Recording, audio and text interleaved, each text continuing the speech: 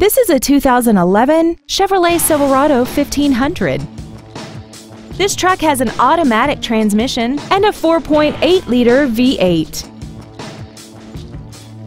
Features include traction control and stability control systems, air conditioning, dusk sensing headlights, side curtain airbags, door reinforcement beams, and this vehicle has less than 6,000 miles.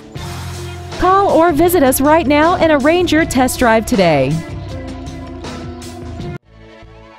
Bill Alexander Ford Lincoln is dedicated to doing everything possible to ensure that the experience you have selecting your next vehicle is as pleasant as possible. We are located at 801 East 32nd Street in Yuma.